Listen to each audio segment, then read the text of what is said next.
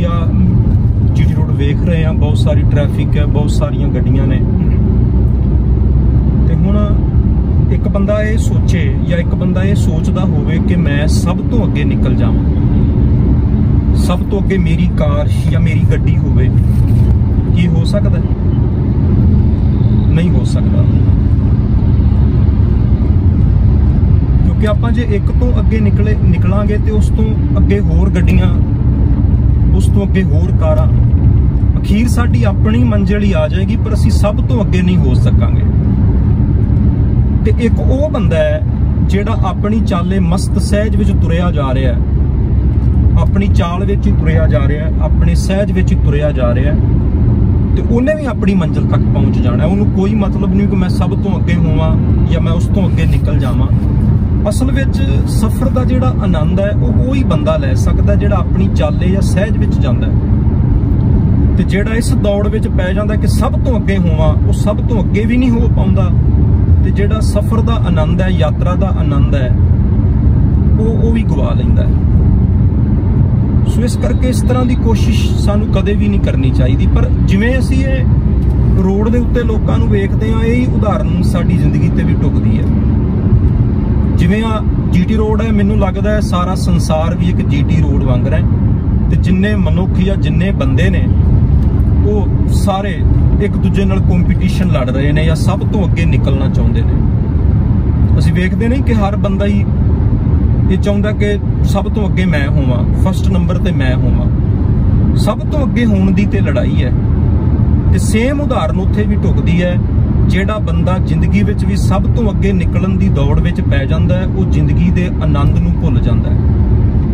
ਜਿਉਣ ਦਾ ਸਹੀ ਤਰੀਕਾ ਜ਼ਿੰਦਗੀ ਨੂੰ ਆਨੰਦ ਵਿੱਚ ਜਿਉਣਾ, ਉਹ ਉਹ ਗਵਾ ਬੈਂਦਾ ਤੇ ਇੱਕ ਉਹ ਬੰਦਾ ਵੀ ਜ਼ਿੰਦਗੀ ਜਿਉ ਰਿਹਾ ਹੈ, ਜਿਹੜਾ ਕਿਸੇ ਤੋਂ ਅੱਗੇ ਨਹੀਂ ਨਿਕਲਣਾ ਚਾਹੁੰਦਾ, ਉਹ ਕੰਪੀਟੀਸ਼ਨ ਵਿੱਚ ਪੈਂਦਾ ਹੀ ਨਹੀਂ।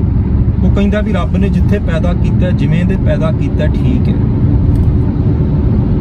ਉਹ ਸੰਸਾਰ ਵਿੱਚ ਜਿਉਣ ਦੇ ਲਈ ਮਿਹਨਤ ਤੇ ਕਰਦਾ ਹੈ। ਪਰ ਕਿਸੇ ਨਾਲ ਕੰਪੀਟੀਸ਼ਨ ਲੜ ਕੇ ਉਹਦੇ ਤੋਂ ਸਭ ਤੋਂ ਅੱਗੇ ਨਿਕਲਣ ਦੀ ਕੋਸ਼ਿਸ਼ ਨਹੀਂ ਕਰਦਾ।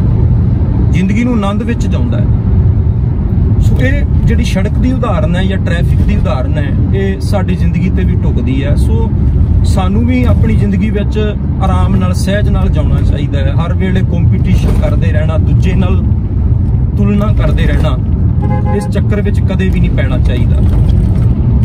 ਤੇ ਕੋਈ ਫ਼ਰਕ ਬਹੁਤਾ ਪੈਂਦਾ ਨਹੀਂ, ਜਿਵੇਂ ਆਮ ਕਰਕੇ ਲੋਕ ਕਹਿ ਦਿੰਦੇ ਆ ਨਾ ਵੀ ਇੱਕ ਬੰਦਾ ਬੜੀ ਕਾਹਲ ਕਰਦਾ ਹੈ ਤੇ ਕੋਈ ਇੰਨਾ ਕੁ ਫ਼ਰਕ ਪੈਂਦਾ ਕਿ ਉਹ 10-15 ਮਿੰਟ ਪਹਿਲਾਂ ਪਹੁੰਚ ਜਾਂਦਾ ਹੈ ਤੇ ਜਿਹੜਾ ਬੰਦਾ ਆਰਾਮ ਨਾਲ, ਸਹਿਜ ਨਾਲ ਜਾਂਦਾ ਹੈ, ਉਸੇ ਜਗ੍ਹਾ 'ਤੇ ਉਹਨੇ ਜਾਣਾ ਹੈ। ਤੇ ਉਹ ਬੰਦਾ ਕੋਈ 10 ਮਿੰਟ ਲੇਟ ਪਹੁੰਚ ਜਾਏਗਾ, ਸਿਰਫ ਇੰਨਾ ਕੁ ਫ਼ਰਕ ਪੈਂਦਾ ਹੈ। ਤੇ ਜ਼ਿੰਦਗੀ ਵਿੱਚ ਵੀ ਇਸੇ ਤਰ੍ਹਾਂ ਹੀ ਹੈ, ਜਿਹੜਾ ਬੰਦਾ ਇਸ ਤਰ੍ਹਾਂ ਦੀ ਦੌੜ ਵਿੱਚ ਪੈ ਜਾਂਦਾ ਇੱਕ ਤੇ ਉਹ ਖਤਰਾ ਮੁੱਲ ਲੈਂਦਾ ਹੈ, ਕਈ ਤਰ੍ਹਾਂ ਦੀਆਂ ਚਿੰਤਾਵਾਂ, ਟੈਨਸ਼ਨਾਂ, ਹਰ ਵੇਲੇ ਡਿਪਰੈਸ਼ਨ 'ਚ ਰਹਿੰਦਾ ਹੈ। ਤੇ ਜਿਹੜਾ ਬੰਦਾ ਆਨੰਦ ਵਿੱਚ ਜਾਉਂਦਾ ਹੈ, ਇੱਕ ਤੇ ਉਹ ਸੁਖੀ ਹੈ, ਸਰੀਰ ਵੀ ਉਹਦਾ ਤੰਦਰੁਸਤ ਰਹਿੰਦਾ ਹੈ।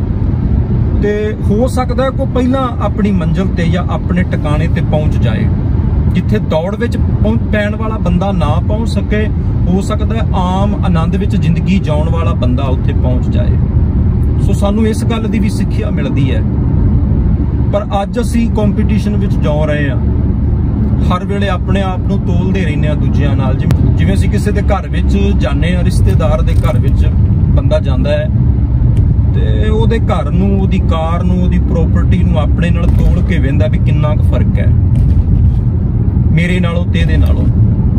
ਮੇਰੀ ਕੋਠੀ ਦਾ, ਮੇਰੇ ਕਾਰ, ਮੇਰੀ ਕਾਰ ਦਾ, ਮੇਰੇ ਧਨ ਦਾ, ਮੇਰੀ ਸੁੰਦਰਤਾ ਦਾ, ਮੇਰੀ ਸ਼ੌਹਰਤ ਦਾ, ਮੇਰੀ ਇੱਜ਼ਤ ਵਡਿਆਈ ਦਾ ਇਸ ਬੰਦੇ ਨਾਲੋਂ ਕਿੰਨਾ ਕੁ ਫ਼ਰਕ ਹੈ।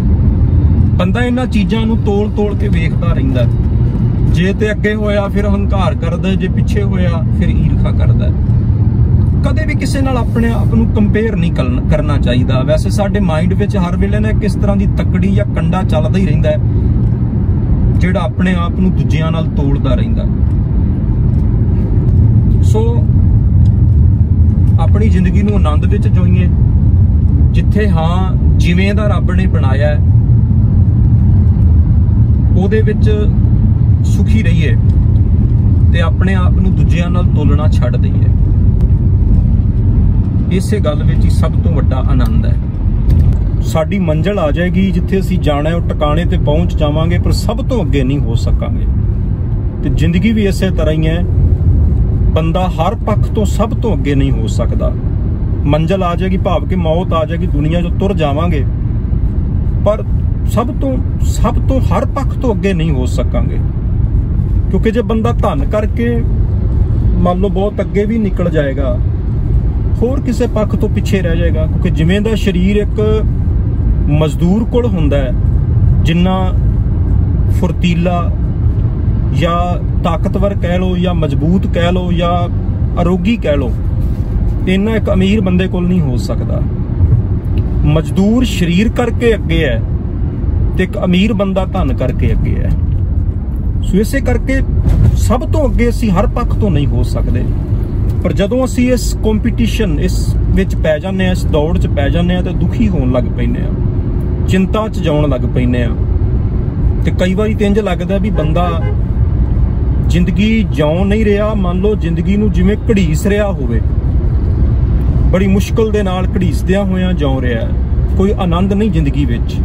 ਕਈ ਵਾਰੀ ਤੇ ਇੰਜ ਵੀ ਲੱਗਦਾ ਵੀ ਜਿਹੜੇ ਆ ਸਾਡੇ ਘਰਾਂ ਦੇ ਨੇੜੇ ਰੁੱਖਾਂ ਤੇ ਪੰਛੀ ਰਹਿੰਦੇ ਨੇ ਨਾ, ਜਾਂ ਤੁਸੀਂ ਜੰਗਲਾਂ 'ਚ ਵੇਖਦੇ ਹੋ ਜਾਂ ਬਾਗ ਬਗੀਚਿਆਂ ਦੇ ਵਿੱਚ ਪੰਛੀ ਰਹਿੰਦੇ ਨੇ, ਬੜੇ ਖੁਸ਼ ਰਹਿੰਦੇ ਨੇ, ਬੜੇ ਆਨੰਦ ਵਿੱਚ ਰਹਿੰਦੇ ਨੇ।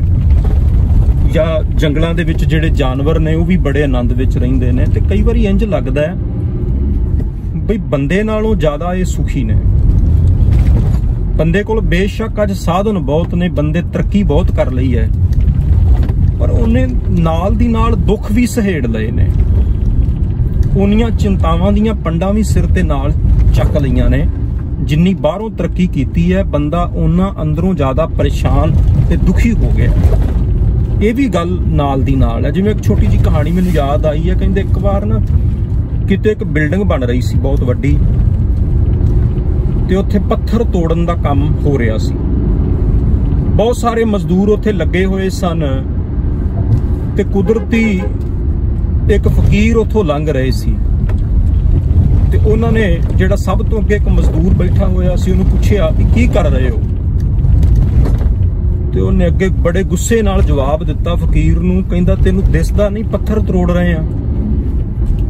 ਬੰਦਾ ਜਿਵੇਂ ਬੜਾ ਦੁਖੀ, ਅੱਕਿਆ ਹੋਇਆ, ਬੜੇ ਗੁੱਸੇ 'ਚ ਕੰਮ ਕਰ ਰਿਹਾ ਹੁੰਦਾ ਨਾ, ਪਰੇਸ਼ਾਨ ਜਿਹਾ ਹੋ ਕੇ ਬਸ। ਉਸੇ ਤਰ੍ਹਾਂ ਹੀ।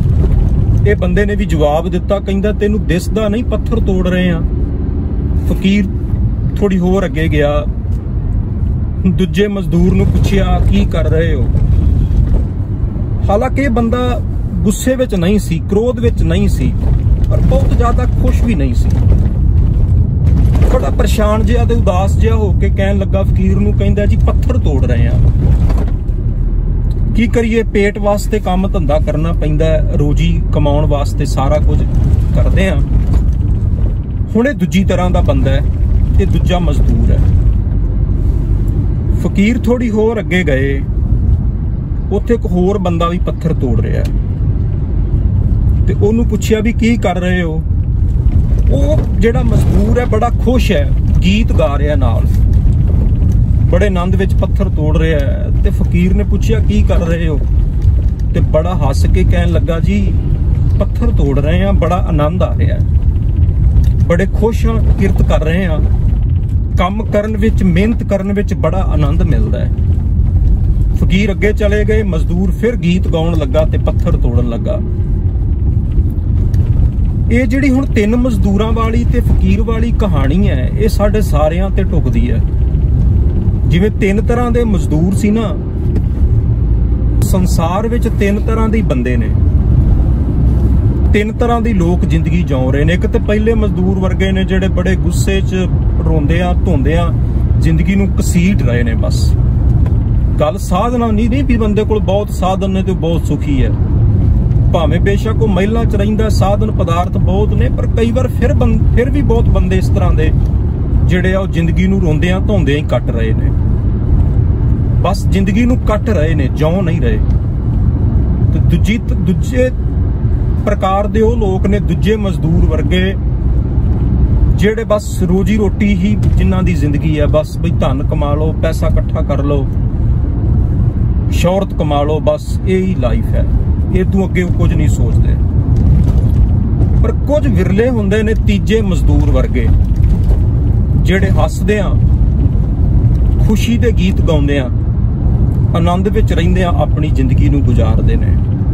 ਇਸ ਇਸ ਕੈਟਾਗਰੀ ਦੇ, ਇਸ ਪ੍ਰਕਾਰ ਦੇ ਜਿਹੜੇ ਲੋਕ ਨੇ, ਉਹ ਦੁਨੀਆ 'ਚ ਤੁਹਾਨੂੰ ਬਹੁਤ ਘੱਟ ਮਿਲਣਗੇ। ਸਾਧਨ, ਸਾਧਨਾ ਦੀ ਗੱਲ ਨਹੀਂ ਇੱਥੇ। ਹੋ ਸਕਦਾ ਉਹ ਭਾਵੇਂ ਕਿਸੇ ਝੋਪੜੀ 'ਚ ਰਹਿੰਦੇ ਹੋਣ। ਇਸ ਤਰ੍ਹਾਂ ਦੇ ਬੰਦੇ ਭਾਵੇਂ ਜਿਵੇਂ ਦੇ ਮਰਜ਼ੀ ਹਾਲਾਤ ਹੋਣ, ਬਾਹਰੀ ਹਾਲਾਤਾਂ ਨਾਲ ਕੋਈ ਫ਼ਰਕ ਨਹੀਂ ਪੈਂਦਾ।